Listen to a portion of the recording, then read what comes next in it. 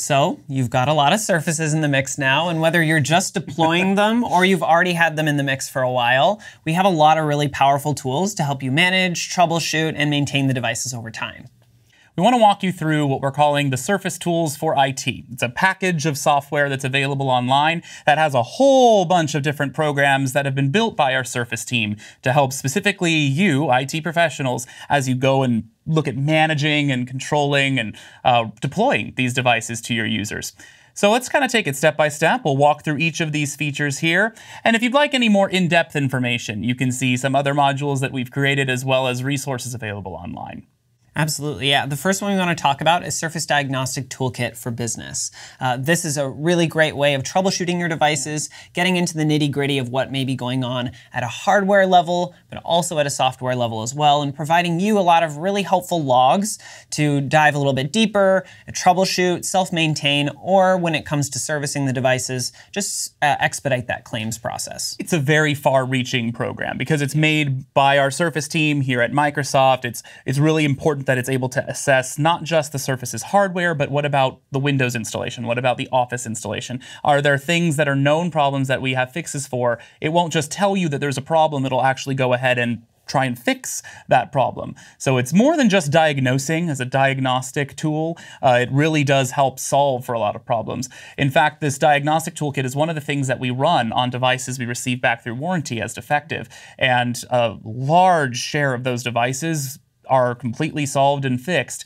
after we simply run this tool. So it can help save you some time, uh, reduce support costs by reducing the amount of claims and device swapping that needs to occur. Uh, so of, out of all of the tools, the Surface Diagnostic Toolkit is probably number one.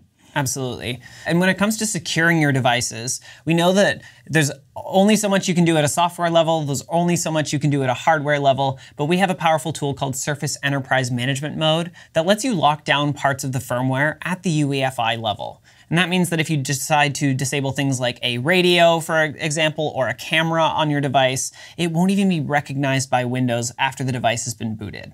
And it's more than just a simple password that we're applying onto the machine. It's a certificate from the organization that's not living with any one individual. So it's really good, just an effective way to manage and lock down boot order, cut power to devices like the camera or USB ports if that's not what the organization is using.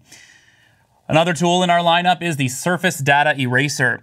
If you have a need to completely destroy every ounce of data on a surface, this is the way to go. A good use case for this is if you have very sensitive information that really cannot leave your organization's environment. If you're you know, returning that device for a claim purpose, or you're not using it anymore because they've moved to a different machine. The Surface Data Eraser is a really powerful tool, runs through USB, that will completely erase everything on the hard drive but then it will also allow that surface to become usable again. So the hard drive won't even know that it's a hard drive after this tool is done. So this goes ahead and lets it know, okay, you can accept a new Windows 10 installation, and it'll allow you to continue to use the surface.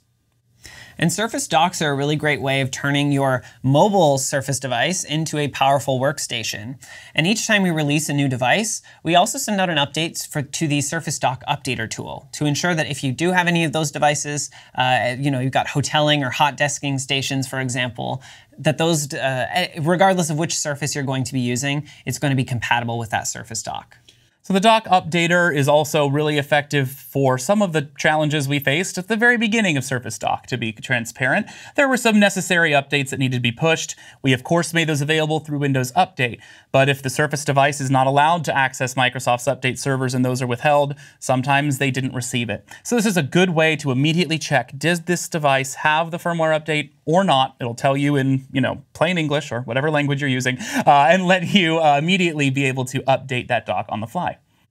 And if you're really early in your deployment of Surface, we have a powerful tool called the Surface Deployment Accelerator that helps you pop in your custom provisioned image and it'll customize it to ensure that you get all those important firmware updates down through Windows Update. If you're wondering where all of this lives and where you can get even more in-depth information than just our very quick descriptions, there is a place for that, and it is called TechNet. You are, of course, likely familiar with TechNet. As an IT professional, this is where we store our massive repositories of knowledge as to how to manage not just Surface devices, but Windows, Microsoft 365, Azure, Intune, SCCM, you name it. Whatever it is that you use, you can find those solutions there. Uh, we have a big effort at Microsoft to make sure that TechNet is always kept up to date uh, with every new release of devices or new release of Windows. Yeah, it's, it's also a great community of other IT professionals like yourselves. And people may be in the same situation as you. They may be deploying similar devices in a similar environment. And it's nice to have somebody to kind of bounce ideas off of. Also, every time we release a new firmware update for Surface, we also release the detailed patch notes on TechNet for our IT administrators so that you can get a little more into the nitty gritty about what we've changed. So all in all, with the Surface Tools for IT, it's a suite of software that's made by our Surface team to help you be as effective as possible.